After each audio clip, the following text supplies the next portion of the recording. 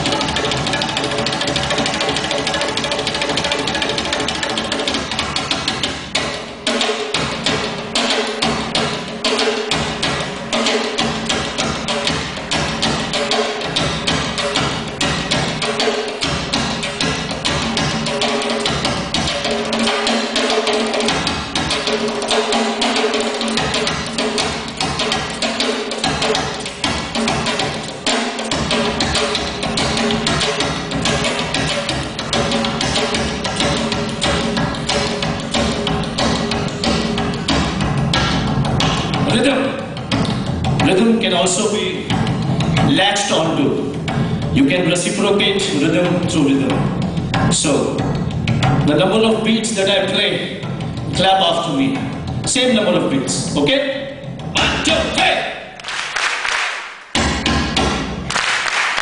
You know, I've been told by the organizers that whoever claps in time with me gets dinner with Zakir Hussain. And whoever doesn't clap in time gets dinner with me. So clap.